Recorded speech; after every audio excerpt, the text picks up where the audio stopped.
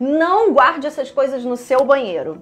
Hoje eu quero falar contigo sobre coisas que você deve evitar guardar dentro do seu banheiro e que eu sei que é muito comum as pessoas guardarem, hein? Uma delas é maquiagem. Priscila, mas eu guardo minhas maquiagens dentro do banheiro. Eu sei, senhora, mas vamos ter que estar vendo outro lugar para guardar, ok?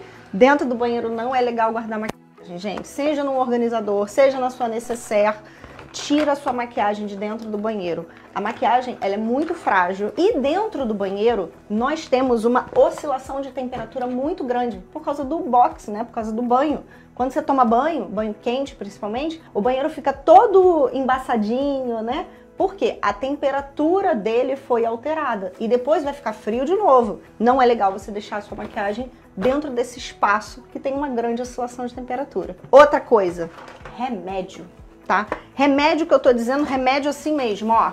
Comprimidos, pozinhos, todas essas coisas que a gente ingere e que principalmente você não toma todo dia. São coisas que são um estoquezinho para quando você se sentir mal. Então, não guarde remédio dentro do banheiro, pelo mesmo motivo. Uma coisa que você pode deixar, que muita gente considera como remédio, mas que você pode deixar dentro do banheiro é kit de primeiros socorros. Então, curativo, é, aqueles antissépticos, spray antisséptico, álcool, algodão, qualquer coisa para limpeza de ferimentos, antisséptico, curativo, isso tudo pode. Agora, maquiagem e remédio não pode.